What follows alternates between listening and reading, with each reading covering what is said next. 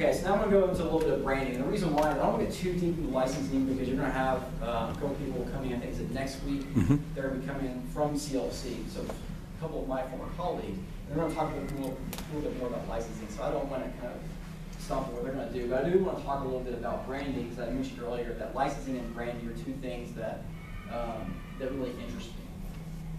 And first of all, you know, what is, what is branding? That's what we have to understand. So it's creating a name, image for a product so that when consumers see it, they understand it. And doing that through some kind of advertising campaign. And there's a lot of definitions for branding. This is just one of a generic one. You can probably go find them 500, but it will probably give you, um, this gives you an idea. But now the important part here, the underlining is, is consistent. And you'll get this here in just a minute. So what do we consider a successful brand? It's one, first of all, when you see it, you know it. You don't have to think about it. Number two is gives a positive reflection. So when you see that, you have positive feelings about it. You understand it, and you're like, wow, that's a great company. That's what, as from a branding person, that's what people think when you see their logo, their image, their phrase, their commercials, where the case may be. And then also, it's all it's, it's more than just the logo, it's about the product and the service that you're providing. So all three of those things combined what creates a successful brand. I'll give you some examples of some, some brands here.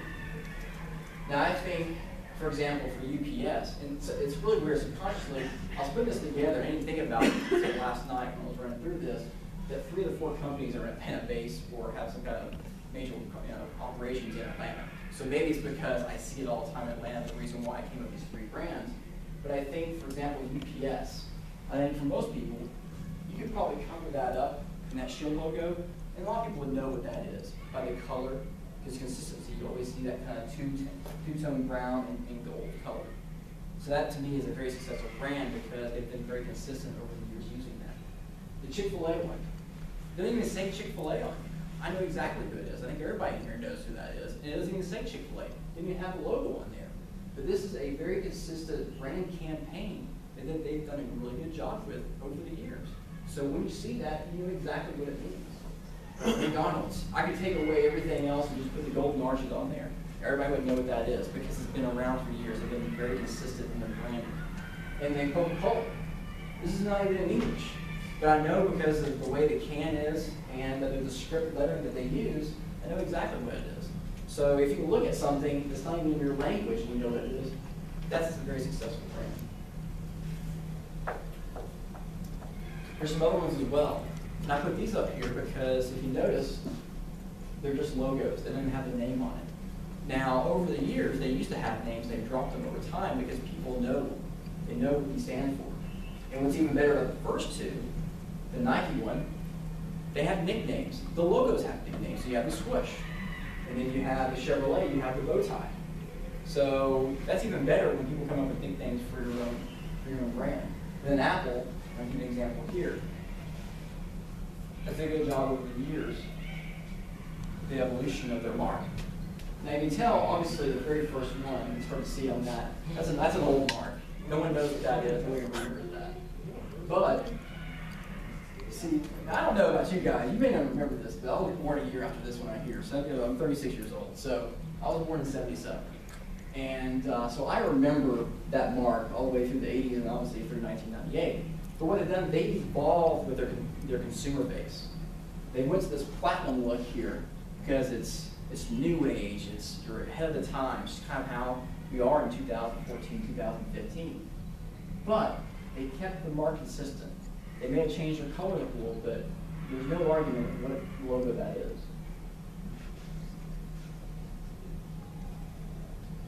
So we're talking about logos and logo changes. So back in 2010, this is a little case study I did. I, did, I gave a very similar presentation to this back in 2010, and this was the example I was using. This is when Starbucks and Gap had just changed their marks.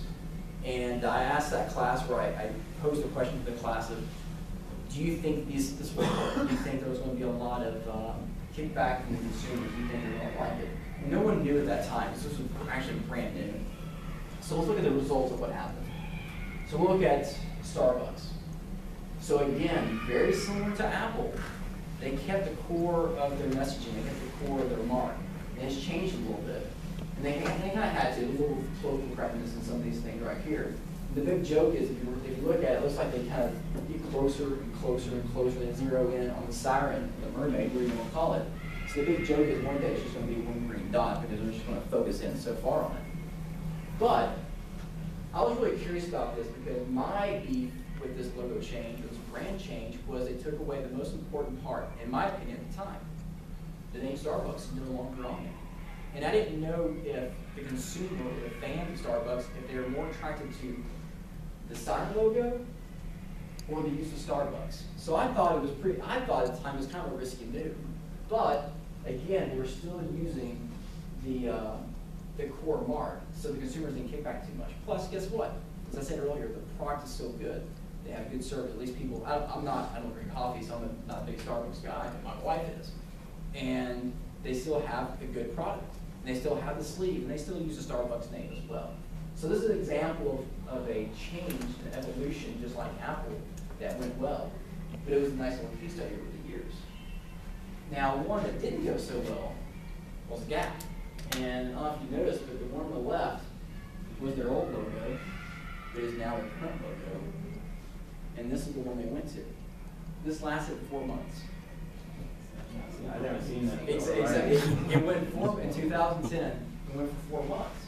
And they lost their way. What's the, what's the difference between this and what Apple and what Starbucks did? Exactly right. They got away from their core branding. Now, the difference is that when Starbucks did it, they were still a good, solid business.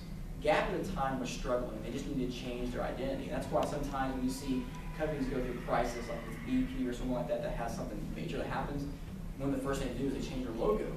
Because back to my point earlier was when you see that, you want that recognition, you want that positive recognition. You don't want that negative recognition. So that's the reason why a lot of people do that. So Gap actually was struggling a little bit, so they changed their logo at this time. And the only thing they kept out of the original brand was the box and then this little blue square, because they thought that was what was important. But the consumer said, no, it's the font. It's, you know, that's what we've learned to, to know right there. And they got so far away from it, to your point exactly. They got so far away from it that there was, the consumers were upset, so they ended up going back to it four months later. Now, some said that it was all publicity stunt because they just wanted people to talk about Gap again. But, uh, the fan, the, the fans and the consumers were not happy at all. So we'll get to college a little bit here. And these are three what I think are the most, not the most, but three of the most powerful brands that are out there. Now, Texas and North Carolina, they both had perfect storms where when they were winning national championships or contending for national championships on an annual basis, the burnt orange in Texas case and the Columbia baby blue, we're gonna call it for Carolina blue, they were really hot in the market. They were fashion colors at the time. So when they were winning, their merchandise was going national across all the country. And so that was kind of a perfect store for them. But the key for them is that when they were in a hot market situation, when the spotlight was on them, they kept their message consistent. And it's very, it's, it's a very enticing that when you're in a spotlight, to kind of change yourself, or, you know, we want to put, you know, we don't like our logos, let's put something else bit better out there. But the schools and the brands that keep themselves, and they know who they are, and they keep it consistent, they come out on the other end better. Now, Ohio State, this is, this is an interesting one. So they made a huge campaign to make themselves the flagship state of the university. Of the University of State, sorry. And the reason why is in Ohio, got a ton of four-year schools, a lot of FBS level schools, a lot of competition to try to get the students there. So back in the nineteen eighties, I believe, they started a campaign where they wanted people to know them as something else. Does anybody know what their name is? School, what the university's name is? What's that now? Well, no, the name of the university. Exactly right. The Ohio State University. There's a lot of schools out there that are known as the whatever. There's the University of Memphis, the University of Oklahoma, but no one calls them that. They just call them Oklahoma, or OU, or Memphis, whatever the case may be. But it was a concentrated effort that the university made. They want to be known as the Ohio State University. Now, where I remember that coming from is when watching Monday Night Football. Yeah, And the they put emphasis on the- You know how they get emphasis? Yeah. The Ohio State University. That was that was a that was an intentional marketing campaign the university had. And as obnoxious as I thought it was, and my wife went to Ohio State, so I can say that a little bit. um, they got the point across. Because I give her a hard time. It's like, oh, it's the Ohio State, like you're some better school than you know, anything else. But, like I said, as, you know, in your face as it was, it worked. Because a lot of people know them now as the Ohio State University. So, what is your brand? What are you known as? What is, a lot of people call it a reputation, but I like to call it a reputation. I like to call it a brand. When people see you in the hallway, what do they know you as? What do you think their impressions are? Do they think of these three things? Are you a successful brand? You know, do they, and I think the number two point here is the most important one. Positive one, trust, loyalty. Those are three important things. So I want you to consider yourself a brand as you're going through the rest of your career here and you get into the workplace. Now, you get a little bit of a redo, where you are right now, you're branding right are who you are. And it's really hard to change your brand. It really is. So when you get out in the real world, you're going to have a second opportunity to rebrand yourself a little bit. Because no one's going to know you unless you're still working here, whatever the case may be. No one knows you, so you're going to have a chance. So I urge you, when you start your new career, when you start your career in general, understand that it's your job to yourself to set your brand and what you want to be known as. And trust me, it takes years to build a brand. You've heard this before. It takes seconds to kill a brand and kill reputation. You got to keep that in mind. It doesn't happen overnight. It takes building a brand up. So what I'm going to do is we're to get real for a couple minutes here. I wasn't to leave here and just you know, teach you about some kind of industry and not talk about life in general or career because I think this is what, if you get anything out of what I present today, this is the part I want us to kind of talk about. And uh, hopefully I want to give you a little bit of advice. As someone that's been in the workforce for 13 years, uh, came through the major, like you guys are doing right now, um, I, I think it's my responsibility to just shed a little light on some things. Now the first light here, the first slide here, is the millennials versus the old fogies. And I'm the old fogey, by the way. Any reaction from this slide? I just want to start off with that. Go ahead. Uh, wh- when you plan on retiring? It's good, not a bad guess. Not where I was going with it, but it's, What does, what does it mean? what's that now? What what- What does millennials, I mean, does, does millennials mean anything to you? I feel like you're talking about people who grew up like Okay. in 2000, like with all the technology and stuff. Okay. So do you, have you ever heard or know what the perceptions of millennials are? I mean, you, Yeah. everybody in this room, you're millennials. So do you know what people think of millennials? They got take out jobs. Don't know? You know what? I'm glad you said that. I'll bring that up a little bit later on, but it's a good, it's a good point. Everything's given to us. Look at that, we had this conversation right before, Non-attentive.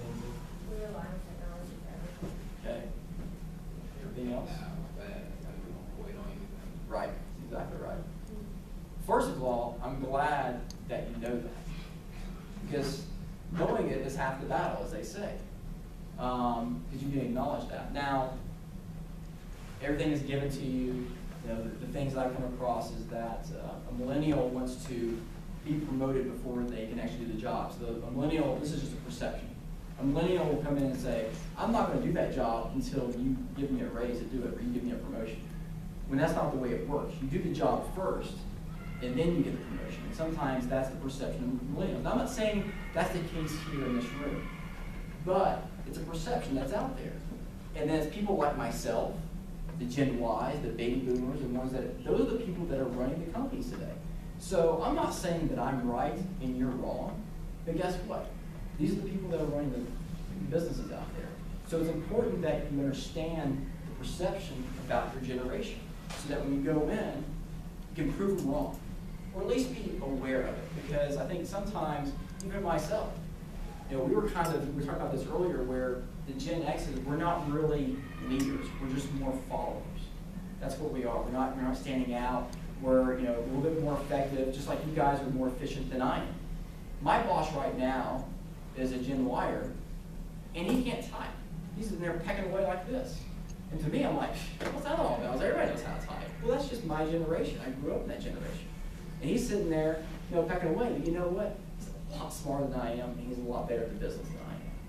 So just because he can't type as fast, or he doesn't know how to tweet, or do any kind of social media, it doesn't mean anything. We have to understand that these are the people that are running the businesses in the industry. So just be aware of that. That's the point I'm trying to make in that situation. So, so here's some career advice or some tips. And am I totally right on all of these? Maybe, maybe you're not. But at least want to expose you to them and kind of give you an idea of what's out there. Now, I'm a little bit qualified, a little bit qualified on this first part because my wife is an HR manager. So um, I always consult with her before I do things like to say, okay, is this right, is this wrong, whatever the case may be. So the first part we'll talk about is why you're in college and then why you're applying for jobs. Gain as much experience as possible. You've heard it a billion times, I know it's been said over and over again. You remember my story earlier when I talked about when I was at Tennessee? And I did everything under the sun in that department.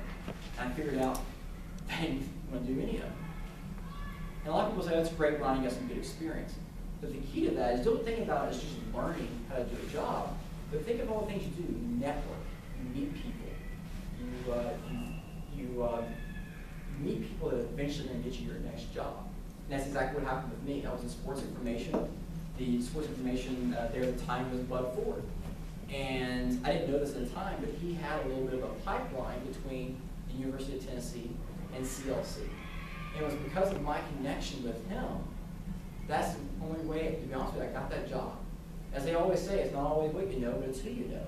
So when you're going out and you're getting experience, think of it in two ways. You're getting experience, you're getting job experience and real life experience. At the same time, you're also networking. And networking is the key. Whatever you do, whether you're in a classroom, you're at business, if you're at a bar, whatever the case may be in a social setting, you're always, always networking. Keep your resume simple. This is from my wife. A lot of people get a little too fancy, do this script writing all over it, or they do all kinds of funky backgrounds. Keep it simple, especially if you're doing an entry level job. Look at just a few things. They're looking at, you know, what your degree is. You know, is it relevant to what you're applying for? Um, what school you went to, your GPA, and some of your extra activities. And real activities, not that I was the captain QB of my rec football team. That doesn't count. But if you're a part of any kind of organization, you're doing volunteering. So keep it simple, keep it concise. Now, don't get me wrong, don't do it on a little thin piece of paper, do it on the real nice you know, resume paper that they have out there. So put in some effort for it. Just don't get too fancy with it, because you end up detracting more than anything else. Social media is part of your application.